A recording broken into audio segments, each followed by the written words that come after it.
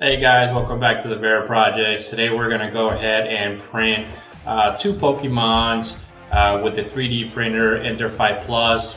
And it takes about three days to print this uh, type size uh, piggy bank for the kids. I kind of want to do it for their birthdays.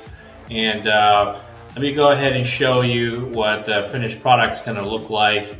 And let's go from there. Hey guys, so I went ahead and I wanted to do something a little bit larger than I typically do on the Ender 5 Plus, and I decided that I wanted to go ahead and create these piggy banks for the kids, uh, these Pokemon ones.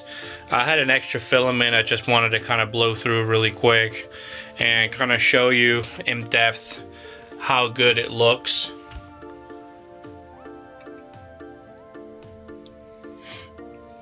And then I'm going to go ahead and remove some of the brackets that are here that are supporting brackets in order for it to be printed properly.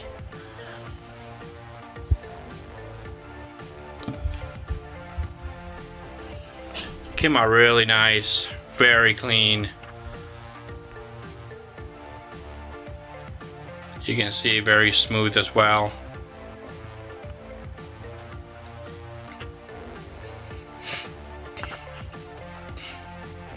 So I'm gonna go ahead and remove those supports and then show you what the finished product looks like. Okay guys, coming back to the Pokemon's uh, piggy banks uh, that I 3D printed with the Ender 5 Plus. As you see, these things came out beautiful. I'm using a carbon fiber uh, material, PLA material and um, it kind of gives it that shiny look. So that's one right there. Here's Pikachu.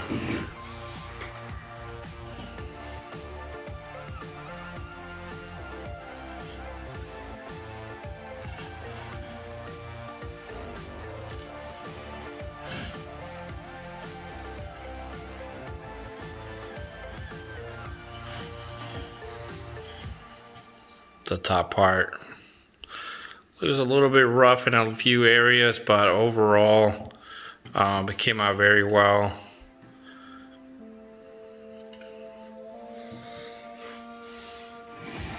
It's definitely a recommendation of getting the Ender 5 Plus. You do have a lot more space to be able to print objects this tall and wide.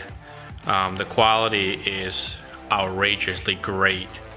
Um, so go ahead and thanks for watching the Vera Projects. Go ahead and subscribe and I'll see you next time with another 3D project.